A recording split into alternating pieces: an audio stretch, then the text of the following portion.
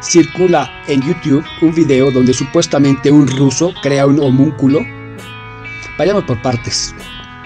El término homúnculo proviene del latín homúnculos, que significa hombrecillo, y se usaba para referir un proceso alquímico para crear artificialmente un pequeño ser humano. Teofrasto Bombast von Hohenheim Paracelso, alquimista, médico y astrólogo suizo, afirmaba haber creado un homúnculo mientras intentaba encontrar la piedra filosofal. Dio a conocer las indicaciones para todo el que quisiera tener su homúnculo. Dice así, no debe negarse la posibilidad de poder crear un homúnculo. El método para hacerlo existe aunque haya sido considerado durante mucho tiempo como un procedimiento muy secreto y oculto. Los antiguos filósofos reflexionaban mucho acerca de si sería factible crear un niño fuera del cuerpo de la mujer, bien natural o artificialmente. Yo respondo a eso que existe semejante posibilidad dentro del arte espagírico, es decir, dentro de la naturaleza. Para tener éxito se indica aquí cómo hay que proceder. En una retorta cerrada se guarda suficiente cantidad de esperma de un hombre a la temperatura del vientre del caballo, y esto durante 40 días o más, necesarios para darle vida y hacerle mover. Al cabo de cierto tiempo, toma forma humana. Entonces se le alimenta con la mayor prudencia, secretamente, con sangre, día y noche, y se le mantiene durante 40 semanas de esta forma a la temperatura del vientre del caballo. Llegará a ser verdad la formación de un niño, aunque de tamaño pequeño. Otro método mencionado por el doctor David Christianus de la Universidad de Gießen en el siglo XVIII describe la utilización del huevo de una gallina negra. Mediante un pequeño agujero se tendrá que reemplazar una porción del tamaño de una alubia por semen humano, sellarlo y enterrarlo en estiércol. A los 30 días, en teoría, saldría un pequeño humanoide que a diferencia del de Paracelso, protegería a su amo. A cambio, de semillas de lavanda y lombrices. Ahora hablemos de cosas serias sobre este tema. Según las leyendas anteriores, porque son leyendas y no otra cosa, usaban semen masculino para crear al supuesto homúnculo. Debes saber antes esto. Después de la eyaculación, las células espermáticas pasan a través de varios cambios fisiológicos esenciales durante cierto tiempo en el tracto genital femenino, antes de que puedan penetrar la membrana del óvulo.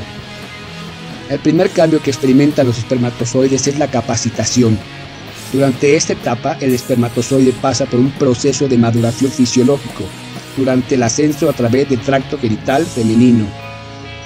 Si no pasan por este proceso, no podrán por ninguna circunstancia convertirse en células espermáticas con la capacidad biológica de poder fertilizar al óvulo.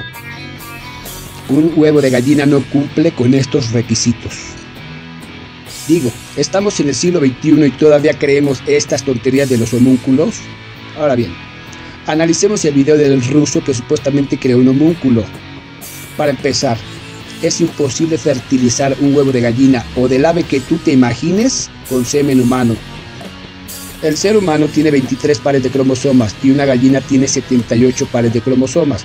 Por ahí ya vamos muy mal para crear nuestro homúnculo. En segundo lugar, hablamos de la capacitación que ya te expliqué antes. En tercer lugar, para no ahondar mucho en el asunto, las hormonas, la vida promedio de los gametos de la especie y la longitud de viaje a realizar, asimismo la señalización de los genes, etcétera, etcétera, etcétera. Entonces estamos hablando de una misión totalmente imposible. El ruso usa el método un poco ortodoxo que además da risa y sobre todo la nula higiene en la que está manipulando todo su experimento. Según él, está desinfectando la aguja de una jeringa con alcohol y una especie de aguja que introduce en el huevo también está siendo desinfectada con alcohol. Ajá, ¿y las manos qué? Por muy bien que te laves las manos tendrás bacterias por miles. Al pinchar con la aguja el huevo, debido a la longitud de la misma, es más que obvio que rompió la yema.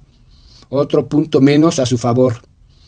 Otra cosa para atacarse de la risa es cuando cubre el huevo con las vendas adheribles en donde se nota claramente que toca la parte sensible de la venda con sus dedotes. Luego lo mete en una especie de recipiente plástico, mismo que cubre con su gorra. ¿Con su gorra? Por favor.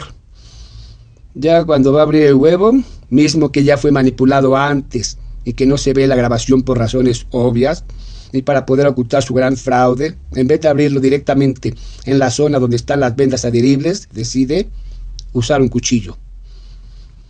¿Sabes por qué no abrió el huevo por la zona de las vendas adheribles? Porque previamente el ruso ya le había hecho un boquete de tal forma que cupiera la misteriosa criatura que aparece al final del video, misma que introdujo antes. Tiene la precaución de ocultar el huevo en un plato hondo para que no le veas el truco. Luego, como todo un padre amoroso, toma a la supuesta criatura que bien pudo haber sido su hijo con unas pinzas. ¿De verdad crees todo esto? Sigamos. El supuesto ser que creo se empieza a mover, gracias a la magia de hilos de seda mismos que ante una cámara de video pasan totalmente desapercibidos y que son utilizados en los videos poltergeist haciendo creer que se mueven las cosas por un ente diabólico el ruso, según él, crea un homúnculo y luego lo aplasta sin más ni más con un libro. Te pregunto de nuevo, ¿con un libro? Su creación, su hijo, su vástago, aplastado con un libro. De veras que es lo más jocoso que he visto últimamente. También es muy obvio que el supuesto ser fue rellenado con una sustancia roja que no es sangre. Todos conocemos bien cómo es la textura de la sangre, y ese líquido rojo no es sangre. Para terminar, te digo que ni Paracelso, ni David Cristianos, ni este hombre de Rusia crearon homúnculos. Todo se reduce a dos palabras, fraude total. Saca por favor tus propias conclusiones de manera inteligente. Gracias.